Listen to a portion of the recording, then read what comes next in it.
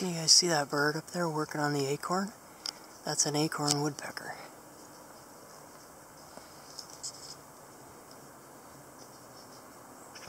It's opening an acorn. And this is a favorite perch right here where they do that. So let's look down below the perch and notice what's down here. Let me refocus. I've refocused the camera to show you what is right below where that acorn woodpecker is. It's right above me and you can actually see be, uh, pieces of sawdust and things falling out of the tree up above where he's hard at work opening an acorn. Now notice how many acorns are down here around me on the ground and they've all been opened. Every one of these was opened by the acorn woodpeckers. So if you look at them, you can see some characteristics that tell you it was done by a bird. Let me refocus and show you. Okay, so see the mark right here? That is the mark of a beak. And when woodpeckers open acorns, they use, of course, the tools that they have, which are their beak, and um, is their beak. And so what you will find is um, a lack of the kind of marks that you expect to see if this was, say, a rodent or something. So this shows a lot of marks where a beak was banged into the shell to open it up.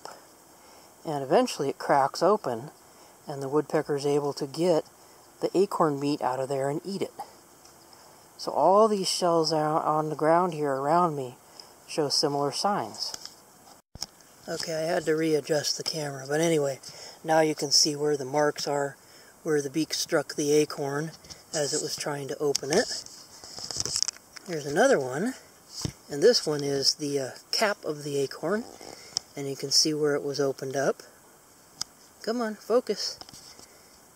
There it goes, it's finally focusing. So now you can see where it was banged open, and there's sharp marks, sharp edges that are kind of jagged. They're not chewed off like you would expect with a rodent.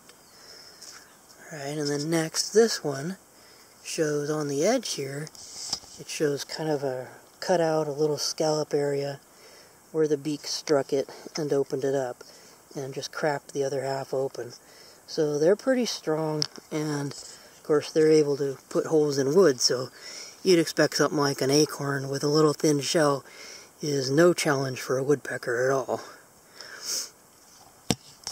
Another thing to notice here is that all these show a very similar characteristic. They're all shrinking inward, these half shells are, and that's because the woodpecker harvested them when they were still green, and so as they dry, there's shrinkage happening to the shell, and so that's why all of these look like that. They were opened by the woodpecker, dropped to the ground, and now they're shrinking.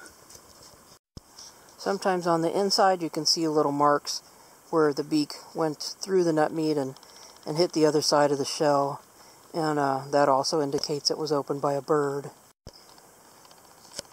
So in the background you can hear the sounds of the acorn woodpeckers.